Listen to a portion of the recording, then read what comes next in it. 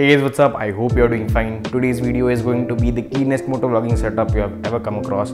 And this setup will cost you somewhere around 600 to 700 rupees.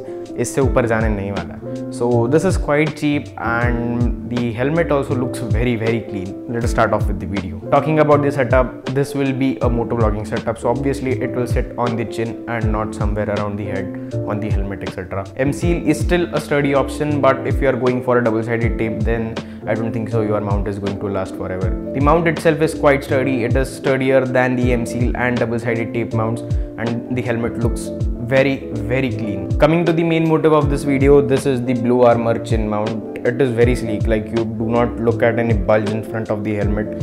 Very very clean setup. Just look at this. Coming to the mounting, this is the J mount. I got this externally on Amazon.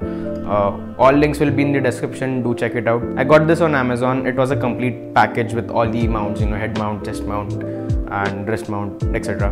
And with the J mount, I put up another extension mount on this. So I have two pivot points in case I want a precise angle on the helmet. And it slides in and slides out very, very easily. Like, just listen to this.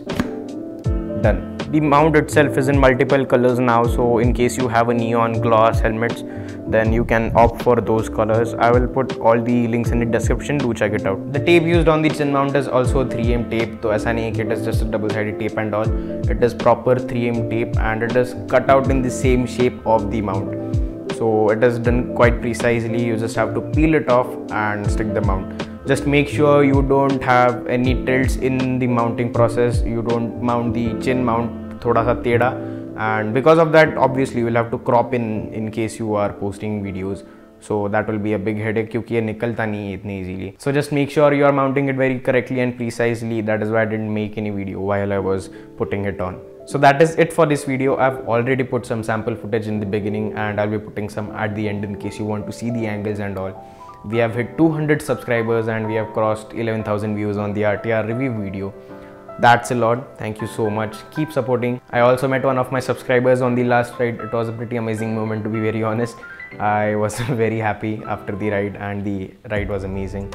And thank you so much bhai for आके बात करने के लिए it means a lot. In case you have any queries, do drop it in the comment section below. I will definitely clear it out. If you like this video, do hit the thumbs up button. If you like what I do and my content, do hit the subscribe button. That is it for this video and I will see you guys in the next one. Goodbye. So that is it for this video. I have already put some sample footage in the begin. In the beginning. In the in the beginning in the beginning